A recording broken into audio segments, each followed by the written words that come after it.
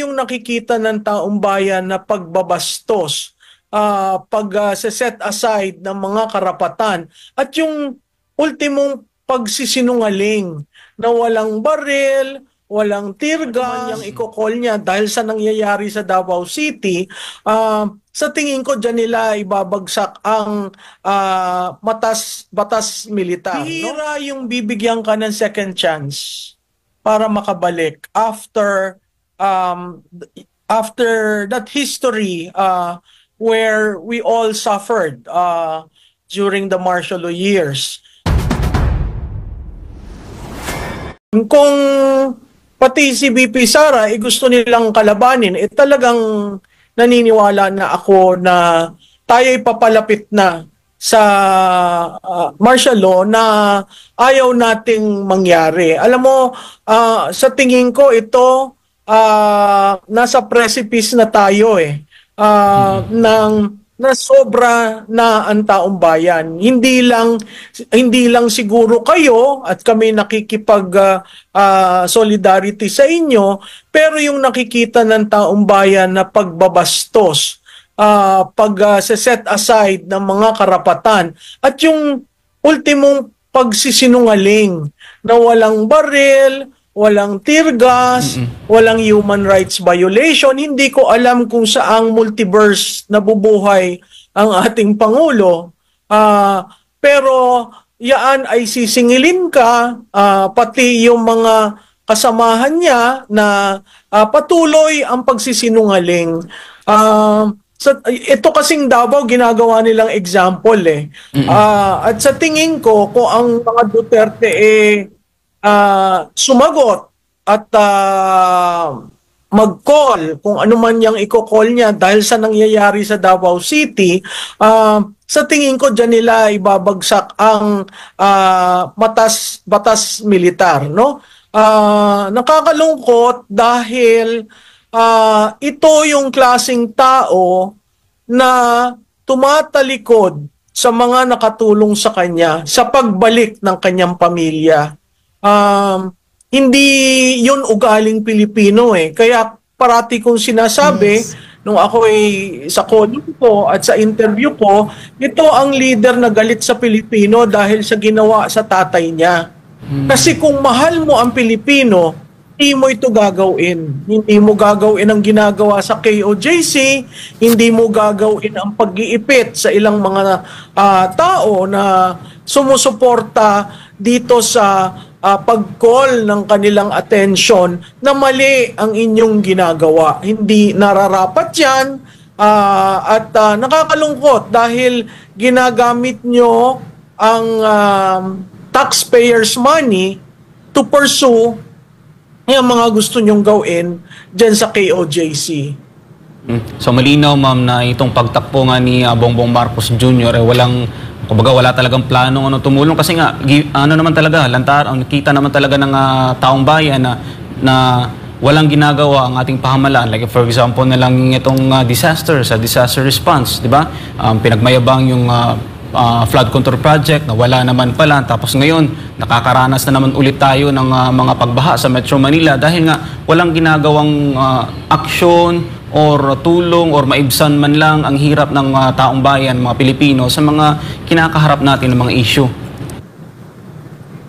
Oo, tama yan, uh, Admar. Yung, yung sinabi nga ng isang mag, na manunulat, uh, yung indifference ang uh, nakakalungkot dahil uh, bihira yung bibigyan ka ng second chance para makabalik after um, after that history uh, where we all suffered uh, during the martial law years.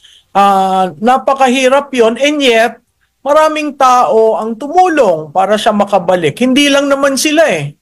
Uh, kaya nakakalungkot yung yung uh, may mga ibang tao na parating ang sinasabi pagbigyan naman natin hindi naman the sins of the father is not the sin of the son uh, yun ang naririnig nating dialogo noong 2022. Pero ito kaagad, iba kaagad ang takbo eh. 180 degree mas, turn kaagad yung nangyari. Mas malala pa nga eh. Yeah. Ay, ay, ay.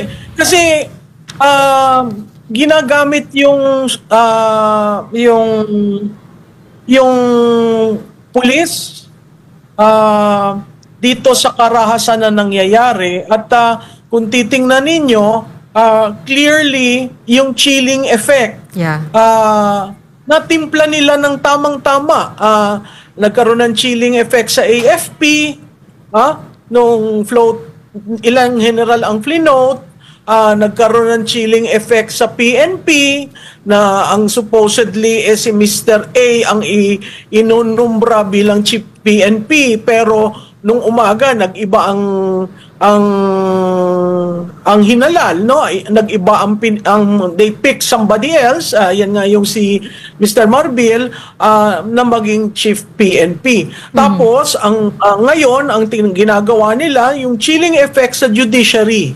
Yeah. no? Ah, nung sinabi nila na papailan ng kaso itong si judge ng Davao City ah, dahil mali daw yung desisyon na ginawa um, wala nang respeto sa branches Yeah. Ah, marahil dahil si Mr. Marcos ay hindi abogado at ang tatay niya ay abogado, ang tatay niya ginawang yung constitutional dictatorship, ika nga, nung panahon na yon, ah, na hindi mo matulak kabigin dahil lahat iginawa niya ayon sa batas. Ito, walang pakialam sa batas. Ah, anong klaseng presidente yung makita mo yung ginagawang ganyan?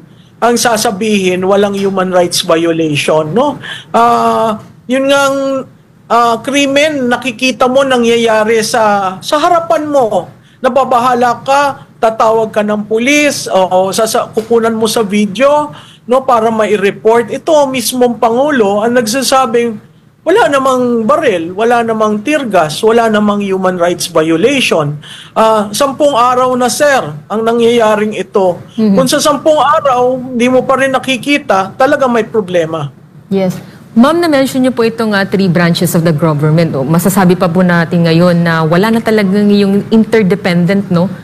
Na executive, legislative, judicial. Paano po nangyari yun, tingin niyo, Prof? Masasabi natin na tumiklop na rin ba yung ibang branches? I mean, ayaw, ayaw sana natin na ganun.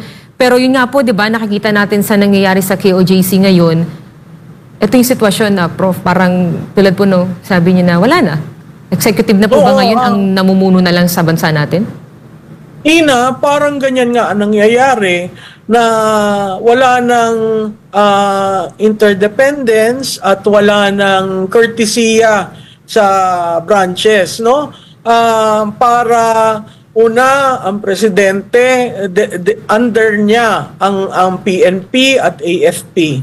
Ah, pangalawa, ah, madali niyang sabihin ang ah, ah, DOJ na tingnan mo nga ito. Yun, nga, yun, yun lang, utos na tingnan mo nga, totoo ba itong nangyayari? I mean, kung hindi siguro pinapakita sa kanya ang mga nangyayari, ah talaga may cordon sanitaire siya, ah, utusan mo yung iyong kalihim. Totoo ba ito?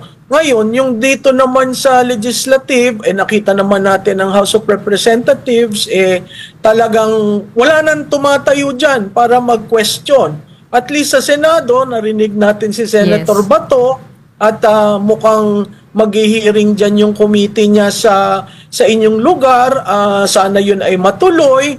Ah, kasi alam mo, ang, ang laban sa martial law, eh, yung pagiging matatag, matapang, at talagang sasabihin mo kung ano nangyayari. You need to put light into all these uh, evil uh, actuations. Uh, very dangerous kasi karapatan na ng ordinaryong tao ang sinisikil. No? Ah, nakakaawa dahil hindi naman dapat ganito ang nangyari, no? Yes. May nakita pa nga tayo diyan na yung um, ah, teenager na nakaitim, na naka- nakahiga na sa sahig, sinipa pa. I mean, ito mga police brutalities, ah, panahon niya nung dating diktadura. Mhm.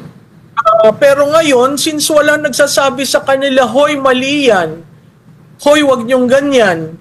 O So, sa tingin nila, we're doing a favor for the president. Na nakakalungkot kasi ah, ah, sweldo nila ay galing sa mamamayan. Mm.